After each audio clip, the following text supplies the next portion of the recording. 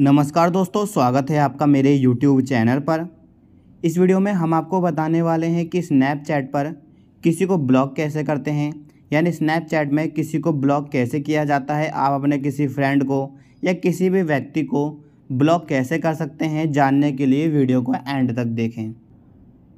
सबसे पहले अपना स्नैपचैट ओपन कर लीजिए, आपके पास ऐसा पेज आता है।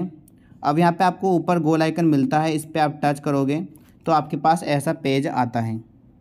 आपको मिलेगा यहाँ पे ऐड फ्रेंड्स और माय फ्रेंड्स तो माय फ्रेंड्स में आके आप अपने फ्रेंड देख सकते हो, वरना ऐड फ्रेंड में आके अपने फ्रेंड देख सकते हो जिससे आप बातें करते हो। वरना आप डायरेक्ट उस व्यक्ति का चैट ओपन कर लीजिए जिसको आप ब्लॉक करना चाहते हो।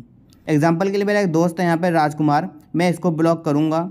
तो यहाँ पर मैं इससे ओपन करता हूँ इसका चैट ओपन करने के बाद इसका जो चैट है ओपन हो जाएगा। तीन डॉट पर टच करते हैं।